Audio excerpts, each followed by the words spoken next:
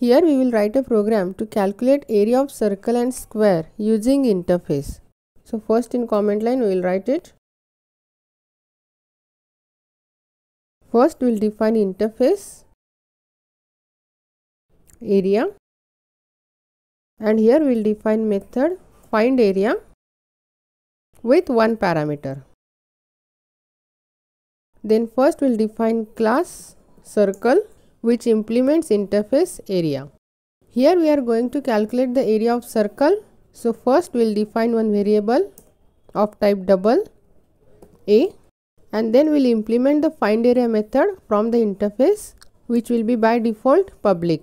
So public void find area with one parameter and here we will calculate the area as a equal to 3.14 into r into r that is pi r square. And then we'll print it area of circle.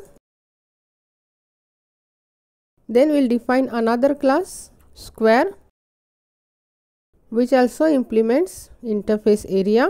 Then we'll implement the method find area from the interface. So public void find area with one parameter. And here we will calculate area as s into s since formula for calculating area of square is side square and then we will print it. Then in another class main method we will create object of these classes to calculate the area. Before that we will accept radius of a circle. So for this we will define one variable r and then we will accept radius of a circle in R we will accept it. Then we will create object of our class circle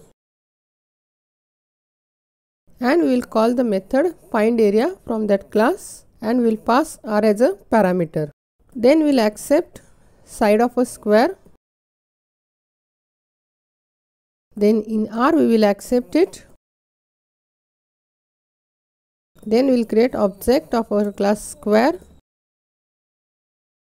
and we will call the method find area and we will pass r as a parameter. Then we will execute it. It will ask to enter the radius. I will enter 5. It will print area of circle as 78.5. Then it will ask to enter the side of a square. I will enter 7. It will print area of square is 49. Here first interface is defined with method find area with one parameter.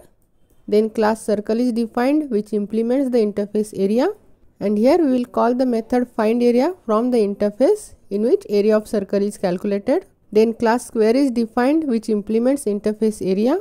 Then find area method is called from the interface in which area of square is calculated and in another class main method we call the radius then create object of the class circle and call the method find area from the circle class then we accept the side of a square.